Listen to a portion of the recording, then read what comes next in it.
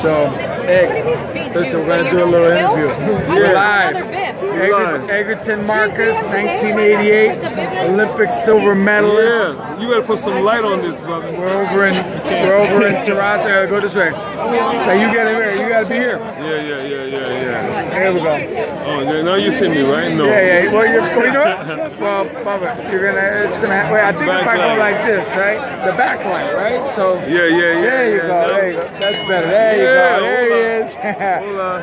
I gotta show it to my guys from the. You know what? I'm gonna send it to Adam Garland. Yeah. Now you and Adam Garland had a great fight, right? Oh, we what was that? rumbled, 85, right? Yeah, it was 85. Adam Garland. yeah. Russ Anber told me that was the Hagler Hearns of That was a amateur boxing, fight, right?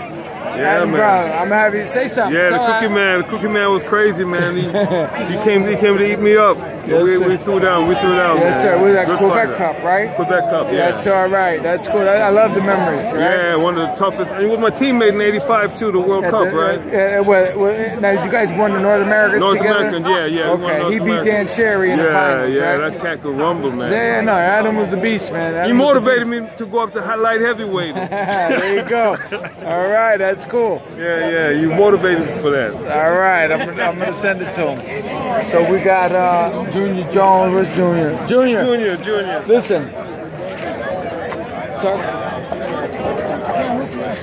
What is that? That's me. Yeah, it is you. Oh, that is me. I'm I know you're thinking, man, that guy looks just like Junior. Yeah, I was like, no, I'm from King. I was like, like, cute. yeah. Oh my goodness. We got Troy Ross here. We got Nikki Furlano. We got George Chuvalo.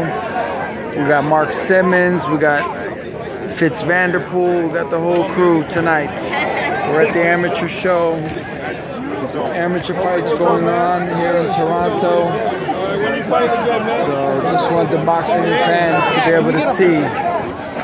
All right, people.